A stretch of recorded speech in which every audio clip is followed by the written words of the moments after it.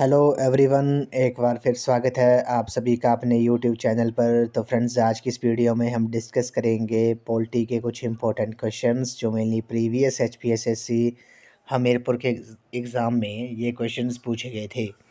तो फ्रेंड्स इन क्वेश्चंस के मैं आपको जितने भी आंसर बताऊँगा, वो फाइनल आंसर की के अकॉर्डिंग ही बताऊँगा जो हमीरपुर बोर्ड ने जारी की थी। तो फ्रेंड्स, आपने क्या करना है? इन क्वेश्चंस के शॉर्ट फॉर्म में नोट्स ज़रूर बना लेने हैं, क्योंकि रिवीजन के टाइम ये क्वेश्चंस आपको काफ़ी हेल्पफुल साबित होंगे। ये क्वेश्चंस आपको आगामी H P S S C J B T commission S I conductor J I T post code नौ सौ पैंसठ और वेरियस एग्ज़ाम जो हमीरपुर बोर्ड द्वारा कंडक्ट किए जाने वाले हैं, आने वाले समय में, उन सभी एग्ज़ाम में ये क्वेश्चन आपको काफ़ी हेल्पफुल साबित होंगे। तो फ्रेंड्स, अगर अगर आप एच पी टेट की तैयारी भी कर रहे हो तो इसके लिए भी मैंने एक अलग से प्ले लिस्ट बनाई है, जिसका जो लिंक है, मैंने डिस्क्रिप्शन बॉक्स में दे दिया है। आप वहाँ पर जाकर वीडियोस देख सकते हो। वहाँ पर आपको एच पी टेट के रिगार्डिंग 150 प्लस वीडियोस आपको देखने को मिलेंगी। तो फ्रेंड्स वीडियो को शुरू करते हैं। क्वेश्चन नंबर 126 में बोला गया कि 26 नवंबर उन्नीस सौ उनचास को किसने भारत का संविधान अपनाया था? Who adopted the constitution of India on the on the twenty November 1949 तो 26 नवंबर उन्नीस सौ उनचास को भारत का संविधान किसने अपनाया था? काफ़ी इंपॉर्टेंट क्वेश्चन है। क्वेश्चन नंबर 126 का जो राइट आंसर है, वहाँ का ऑप्शन नंबर ए है, भारत की जनता ने। किसने?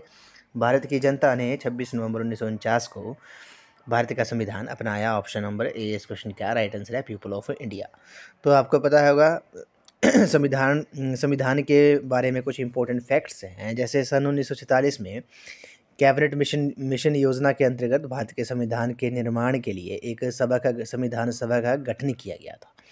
डॉक्टर भी एन राव को संविधान सभा का संवैधानिक सलाहकार नियुक्त किया गया था और संविधान सभा का जो प्रथम अधिवेशन हुआ था, वो 9 दिसंबर उन्नीस को 9 दिसंबर उन्नीस को संसद भवन के केंद्रीय कक्ष में प्रारंभ हुआ था। डॉक्टर सचिदानंद सिन्हा को सर्वसम्मति से अस्थायी अध्यक्ष चुना गया था। ये भी आपने याद रखना है। डॉक्टर सचेदानंद सिन्हा को सर्वसम्मति सर्वसम्मति से अस्थायी अध्यक्ष चुना गया था। 11 दिसंबर उन्नीस को की बैठक में डॉक्टर राजेंद्र प्रसाद को सभा का स्थायी अध्यक्ष चुना गया था। ये भी आपने याद रखना है स्थायी अध्यक्ष जो थे वो डॉक्टर राजेंद्र प्रसाद को चुना गया था। और प्रारूप समिति के जो अध्यक्ष थे वो डॉक्टर भीमराव अंबेडकर जी थे, ये भी आपने याद रखना है। संविधान को तैयार करने में दो साल, ग्यारह महीने और अठारह दिन का समय लगा था। ये आपसे एग्ज़ाम में पूछ सकते हैं। अब कुछ एक इंपॉर्टेंट फैक्ट है कि 26 नवंबर उन्नीस सौ उनचास को 26 नवंबर उन्नीस सौ उनचास को संविधान बनकर तैयार हो गया था और इसी दिन पर अध्यक्ष के हस्ताक्षर हुए थे इसके ऊपर। संविधान 26 नवंबर उन्नीस सौ उनचास को बनकर बनकर तैयार हो गया था, परंतु इसके अधिकतर भागों को 26 नवंबर 1950 को लागू किया गया। क्यों किया गया? इसका रीज़न है कि 1930 में 1930 से ही पूरे भारत में 26 जनवरी का जो दिन था, वो स्वाधीनता दिवस के रूप में मनाया जाता था। इसलिए 26 नवंबर 26 जनवरी 1950 को प्रथम गणतंत्र दिवस मनाया गया। डॉक्टर राम डॉक्टर भीमराव अंबेडकर जी को भारतीय संविधान के भारतीय संविधान के जनक के रूप में जाना जाता है। संविधान सभा द्वारा जो गठित समितियाँ और उनके अध्यक्ष हैं कुछ इंपॉर्टेंट है। उनके बारे में थोड़ा हम डिस्कस कर लेते हैं। जैसे झंडा समिति के जो अध्यक्ष थे, वो जे वी कृपलानी थे। संचालन समिति के डॉक्टर राजेंद्र प्रसाद थे और संघ संविधान समिति एवं संघ समिति के जो अध्यक्ष थे, वो पंडित जवाहरलाल नेहरू थे। संविधान प्रारूप समिति के अध्यक्ष डॉक्टर भीमराव अंबेडकर जी थे। तो ऑप्शन नंबर ए इस क्वेश्चन का राइट आंसर है। छब्बीस नवंबर उन्नीस सौ उनचास को किसने भारत का संविधान अपनाया? तो भारत की जनता ने। ऑप्शन नंबर ए इस क्वेश्चन का राइट आंसर है। अगला प्रश्न है क्वेश्चन नंबर एक सौ सत्ताईस में बोला गया कि भारत का संविधान मान्यता प्रदान करता है। The constitution of India recognize तो भारत का संविधान जो है, वो मान्यता प्रदान करता है। किसको करता है? काफ़ी इंपॉर्टेंट क्वेश्चन है। क्वेश्चन नंबर वन का जो राइट आंसर है, वो आपका ऑप्शन नंबर सी है। धार्मिक और भाषाई दोनों अल्पसंख्यकों को भारत का संविधान जो है वो मान्यता प्रदान करता है। Both religious and linguistic minorities जो है, इस क्वेश्चन का राइट आंसर है। क्वेश्चन नंबर 128 पे चलते हैं। क्वेश्चन नंबर 128 जो है वो काफ़ी इंपॉर्टेंट क्वेश्चन है। इसमें बोला गया है कि मूलभूत कर्तव्यों में ये शामिल नहीं है। Fundamental duties do not enjoy any तो मूलभूत कर्तव्यों में क्या शामिल नहीं है? क्वेश्चन नंबर एक सौ अट्ठाइस का जो राइट आंसर है वो आपका ऑप्शन नंबर डी है विधिक स्वीकृति जो है, लीगल सेंक्शन जो है इस क्वेश्चन का, राइट आंसर है। आपको पता होगा, मूलभूत मूलभूत कर्तव्यों मूलभूत कर्तव्यों का जो उल्लेख है, वो संविधान के भाग चार क में ये अपने नोट डाउन कर लेना है, कई बार एग्ज़ाम में पूछा गया है। इसमें है, भाग चार क में मूलभूत कर्तव्यों के बारे में बताया गया है। और इसका जो अनुच्छेद किस अनुच्छेद में है, ये फिफ्टी वन के में भाग किसमें है? भाग चार क में है और अनुच्छेद इक्यावन क में इसका वर्णन है, ये आपने याद रखना है।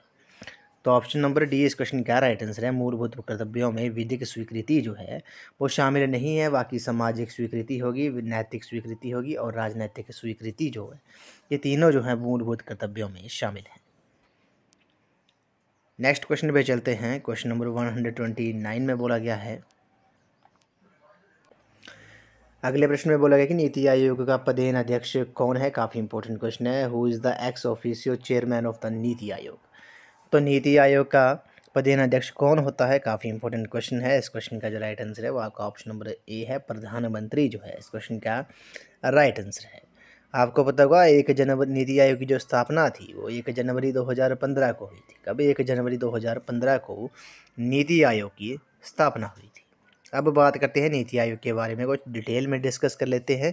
एक जनवरी 2015 को मंत्री, मंत्रिमंडल के एक प्रस्ताव के तहत तो योजना आयोग की जगह एक नई संस्था, जिसे राष्ट्रीय भारत परिवर्तन संस्थान, national institution for transforming India NITI कहा गया, अस्तित्व में आई थी। आमतौर पर इसे नीति आयोग के नाम से जाना जा रहा है, ये एक गैर संवैधानिक निकाय है। और नीति आयोग की जो संरचना है, वो अध्यक्ष जो है, वो प्रधानमंत्री होता है, उपाध्यक्ष प्रधानमंत्री द्वारा नियुक्त विशेषज्ञ होता है। अर्थशास्त्री अरविंद पनगड़िया जो थे, वो इस उन्हें नीति आयोग का प्रथम उपाध्यक्ष बनाया गया था, ये आपने याद रखना है। और अरविंद पनगड़िया जो थे, पनगड़िया पनगड़िया जो थे, वो नीति आयोग के प्रथम अध्य, उपाध्यक्ष थे, ये भी आपने याद रखना है। प्रेजेंट में कौन है? डॉक्टर इसमें प्रेजेंट में जो उपाध्यक्ष है, वाइस चेयरमैन है नीति आयोग के, वो सुमन बैरी हैं, ये आपने याद रखना है। नीति आयोग ने योजना आयोग आयोग का स्थान लिया था प्लानिंग कमीशन का। तो योजना आयोग आपको पता होगा, ये भारत में योजना आयोग का जो गठन था, वो केसी नियोगी समिति की सिफारिश पर 15 मार्च 1950 को किया गया था। ये एक गैर संवैधानिक संस्था थी, जिसका पदेन अध्यक्ष जो था, वो प्रधानमंत्री होता था। इसके स्थान पर अब नीति आयोग का गठन किया गया है। योजना आयोग के प्रथम अध्यक्ष जो थे, वो जवाहरलाल नेहरू थे और प्रथम उपाध्यक्ष जो थे वो गुलजारी लाल नंदा थे। ये भी आपने याद रखना है। तो ऑप्शन नंबर ए जो है इस क्वेश्चन का राइट आंसर है। नीति आयोग का पदेन अध्यक्ष कौन होता है? वो प्रधानमंत्री होता है। नीति आयोग की फुल फॉर्म आपसे पूछ सकते हैं। तो national institution for transforming India जो है वो नीति की फुल फॉर्म है। क्वेश्चन नंबर 130 पे चलते हैं। क्वेश्चन नंबर 130 में बोला गया है कि राष्ट्रपति को पद की शपथ कौन दिलाता है? Who administers the oath of the office to the president तो काफ़ी इंपॉर्टेंट क्वेश्चन है तो राष्ट्रपति को पद की शपथ जो है, वो कौन दिलाता है? काफ़ी इंपॉर्टेंट क्वेश्चन है। Question number one three zero का जो राइट आंसर है, वो आपका ऑप्शन नंबर सी है। ऑप्शन नंबर सी जो है, इस क्वेश्चन क्या राइट आंसर है? भारत के मुख्य न्यायाधीश जो हैं, वो राष्ट्रपति को पद की शपथ दिलाता है तो ऑप्शन नंबर सी इस क्वेश्चन का राइट आंसर है। अब राष्ट्रपति के बारे में कुछ डिटेल में डिस्कस कर लेते हैं। राष्ट्रपति की जो योग्यताएँ होती है, वो पैंतीस वर्ष की आयु उसकी पूरी होनी चाहिए। वे लोकसभा का सदस्य, निर्वाचित होने की योग्यता रखता हो, किसी भी सरकारी लाभ के पद पर आसीन नहीं होना चाहिए और राष्ट्रपति पद पद के लिए नाम का जो प्रस्ताव है, उसका अनुमोदन जो है, वो कम से कम पचास पचास निर्वाचकों द्वारा किया जाना चाहिए। इसकी जो निर्वाचन प्रक्रिया होती है, राष्ट्रपति की, वो एक अप्रत्यक्ष रूप से एक निर्वाचक मंडल द्वारा चुना जाता है, जिसमें संसद के दोनों सदनों के निर्वाचित सदस्य और राज्य, विधानसभा और संघीय क्षेत्र के निर्वाचित सदस्य भाग लेते हैं। राष्ट्रपति पद के लिए चुनाव के लिए अनुपातिक प्रतिनिधित्व की एकल संक्रमणीय प्रणाली को अपनाया गया है। राष्ट्रपति के चुनाव से संबंधित विवादों का छानबीन तथा निर्णय जो है, निर्णय सर्वोच्च न्यायालय सुप्रीम कोर्ट द्वारा किया जाता है। भारत के मुख्य न्यायाधीश जो हैं, वो इन्हें शपथ दिलाते हैं, ये भी आपने याद रखना है। राष्ट्रपति को अपना पद ग्रहण करने से पूर्व भारत के राष्ट्रपति भारत के मुख्य न्यायाधीश या उनकी अनुपस्थिति में सर्वोच्च न्यायालय के वरिष्ठतम न्यायाधीश के समक्ष पद एवं गोपनीयता की शपथ लेनी पड़ती है। और महाभियोग का महाभियोग जो है, उसका जो भारतीय संविधान के अनुच्छेद इकसठ के अनुसार राष्ट्रपति के द्वारा संविधान का उल्लंघन करने पर उसके विरुद्ध महाभियोग चलाकर उसे पदच्युत किया जा सकता है, पद से मुक्त किया जा सकता है। महाभियोग प्रस्ताव जो है, वो संसद के किसी भी सदन में लाया जा सकता है, ये भी आपने याद रखना है। तो हमने कुछ ये क्वेश्चन डिस्कस किए इंपॉर्टेंट फैक्ट डिस्कस किए, जहाँ से क्वेश्चन आपसे पूछ सकते हैं। जैसे फ़र्स्ट प्रेसिडेंट कौन थे इंडिया के? तो वो डॉक्टर राजेंद्र प्रसाद थे और दूसरे जो थे वो सर्वपल्ली राधाकृष्णन थे, तीसरे डॉक्टर जाकिर हुसैन थे। अभी प्रेजेंट में कौन है? श्रीमती द्रौपदी मुर्मू जो हैं, वो भारत की प्रेजेंट में प्रेसिडेंट हैं उड़ीसा स्टेट से वो बिलोंग करते हैं और उपराष्ट्रपति जो हैं वो श्री जगदीप धनखड़ हैं, राजस्थान स्टेट से वो बिलोंग करते हैं। क्वेश्चन नंबर एक सौ इकतीस पे चलते हैं। Question number one three one में बोला गया है कि राज्यसभा का कार्यकाल निर्धारित किया जाता है।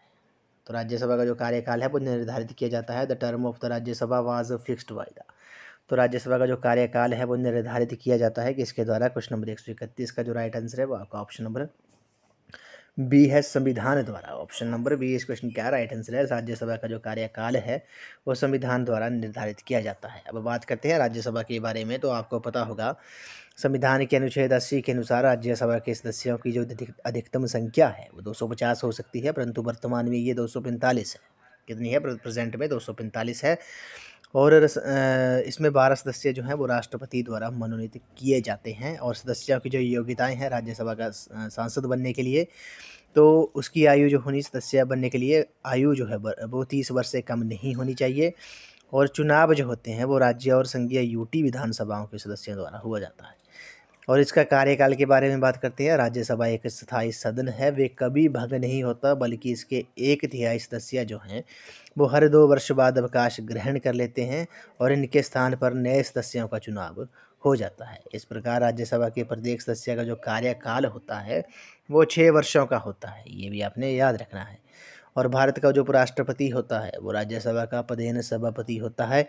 तथा राज्यसभा अपने में से किसी एक सदस्य को उपसभापति निर्वाचित करता है। सभापति की अनुपस्थिति में उपसभापति जो है, वो सभापति के कर्तव्यों का पालन करता है और राज्यसभा के जो प्रथम उपसभापति थे, वो श्री श्री एस वी कृष्णा मूर्ति राव थे। राज्यसभा का जो पहली बार गठन था, वो तीन अप्रैल उन्नीस सौ बावन को किया गया था और इसकी बैठक जो थी, वो तेरह मई उन्नीस बावन को हुई थी। ये भी आपने याद रखना है, केवल राज्यसभा को ही अधिकार प्राप्त है कि वे संविधान के अनुच्छेद 312 के तहत अखिल भारतीय सेवाओं का सृजन कर सके। ये भी आपने याद रखना है और केवल राज्यसभा को ये अधिकार प्राप्त है कि अनुच्छेद अनुच्छेद दो सौ उनचास के तहत राज्य सूची के किसी विषय को राष्ट्रीय महत्व का घोषित कर सके। ये भी आपने याद रखना है। राज्यसभा सदस्य जो प्रधानमंत्री बने थे वो कौन कौन थे? वो श्रीमती इंदिरा गांधी जी थी, एच डी देवगौड़ा जो थे, आई के गुजराल जो थे, डॉक्टर मनमोहन सिंह जो थे, ये जो राज्यसभा सदस्य थे, जो प्रधानमंत्री बने थे। ये भी आपने याद रखना है। सबसे राज्यसभा में सदस्यों की जो संख्या है, वो सबसे ज़्यादा किसकी है? वो